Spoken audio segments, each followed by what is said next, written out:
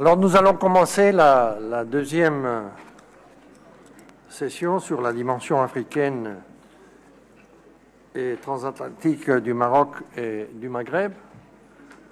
Je dois tout d'abord vous présenter mes excuses. Fatima, j'ai besoin de quelques notes de présentation. Avant que je n'intervienne sur le sujet même de cette session, je voudrais simplement faire le point, si vous le permettez, sur l'objectif de tout l'exercice que nous faisons ce jour et demain. Donc nous savons, comme c'est indiqué dans les panneaux, que le forum est consacré à la réflexion sur une nouvelle géographie économique. Je mettrai plutôt l'accent sur le Maroc dans sa perspective maghrébine, puisqu'il s'agit euh, d'une prospective Maroc 2030, comme l'a signalé le, ministre Lahlimi dans son introduction. Alors de quoi s'agit-il? Il s'agit de dégager des grandes options stratégiques et les marges d'indétermination de cette nouvelle géographie économique dans laquelle se situe le Maroc. Les propos qui vous ont été soumis, euh, j'espère que maintenant tout le monde a les documents respectifs dans leur langue, dérivent d'une pensée stratégique internationale le président de l'université Nebrija en a fait état du travail fait par les professeurs Emilio Fontella et Juan de Castro, et j'ai participé avec eux à ce travail. Alors, est-ce que aujourd'hui le Maroc et le Maghreb, ou plutôt le Maghreb, et l'intérêt du Maroc, euh, d'un projet mobilisateur? Ou est-ce plutôt un immobilisme de certains obstacles politiques qui empêchent ce désidérata C'est le genre de problème que nous nous sommes posés pour venir à cet exercice. Le nom Maghreb semble bien être en flagrante contradiction avec l'espérance d'une jeunesse en quête d'un dessin qui lui donne du cœur, ainsi que d'en assumer le rôle actif à sa construction. Je disais dans la parenthèse à un de mes amis français qui a intervenu que j'ai eu l'impression dans un des interventions qu'on disait Monsieur les Français tiraient les premiers, Monsieur les musulmans tiraient les premiers, et qu'il s'agit vraiment de se poser des questions de convergence et comment se situe, comme on l'a bien dit dans la première session, la construction de cet espace avec cette problématique, entre autres de l'énergie, dans une transition énergétique? Alors, les sources de conflits et tensions géopolitiques dans la mondialisation en quête d'un développement énergétique équilibré. C'est au moins la question que je me pose et que je vous pose. Notre ami Émile Mallet, qui fait des exercices intéressants toutes les semaines à Paris, dans l'enceinte du Sénat, avec des collaborateurs très importants, se posait des questions comme la prévision, qui est généralement acceptée, que la demande énergétique mondiale pourrait doubler, voire même tripler d'ici l'an 2050, surtout par la démarche des pays émergents. C'est Fanny Basile qui soutenait ces critères il y a quelques semaines.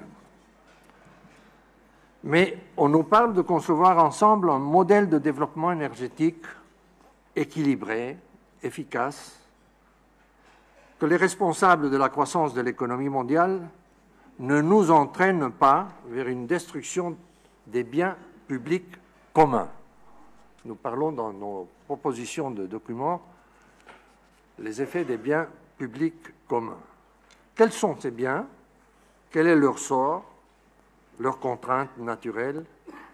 Leur localisation géographique? Ainsi que les options prioritaires dans leur usage. Voilà des sujets de réflexion dont les réponses ne sont pas toujours faciles à atteindre, loin de là, avoir un consensus sur elles. Mais si nous parlons de biens publics et de leur rôle dans un développement humain durable, mais aussi dans les différentes priorités recherchées au niveau de la globalisation économique, telle que nous la connaissons de nos jours, certes, nous devons nous adresser au problème des incertitudes. Nous sommes pleins d'incertitudes. Comme par exemple, quels sont les moyens qui seront mis en œuvre pour atteindre une diminution qui est proposée en Europe d'une réduction de 4 des émissions de CO2. Est-ce que c'est le volontariat d'arriver à ces objectifs et quels sont leurs effets dans le reste de cette mondialisation? Quelles sont les réponses des pays qui ont des ressources afin de pouvoir la sécurité énergétique nécessaire dans cette transition sans qu'elle soit de choc? Quel est le rôle de l'éthanol? Quel est le rôle des biodiesels? Est-ce qu'on les sait vraiment ou c'est simplement un jeu de coûte que coûte? Oui, nous devons innover en matière d'aménagement du territoire et d'urbanisme. Et ça, il faut penser pas simplement en termes de Maroc. Si le Maroc se voit inséré dans un Maghreb, il y a tout ce problème qui se pose parce qu'il y a tout ce qui concerne les infrastructures, la problématique énergétique telle qu'elle est déployée avec ses équilibres. Nous devons peut-être aussi euh, penser un peu aux externalités des biens publics, qu'elles soient positives ou négatives. Et qui seront les bénéficiaires? N'est-il pas important d'entrevoir les potentiels sur le plan économique, géostratégique et sécuritaire dont on nous a parlé dans la première session? Si cela est le genre de préoccupation d'un exercice de prospective comme celle que nous sommes engagés aujourd'hui, dans le Maroc 2030, la dimension africaine et atlantique est en elle-même très importante parce que c'est les deux autres scénarios complémentaires pour que si l'Europe fait le pas vers un co-développement avec un Maghreb où les Maghrébiens sont d'accord, où se situe l'Afrique, où se situe l'Amérique latine, où se situe l'outre-Atlantique. Implicitement, il faudra bien se poser des questions sur y compris, mais ce n'est pas notre rôle, la simplicité de certains indicateurs sur lesquels nous basons nos objectifs de bien-être sociaux et individuels. Le PIB, nous sommes pleins de PIB dans les organismes internationaux. J'étais moi aussi euh, fonctionnaire du système des Nations Unies, pas de la Banque mondiale ni du Fonds monétaire, mais on voit toujours croissance, PIB, résultat.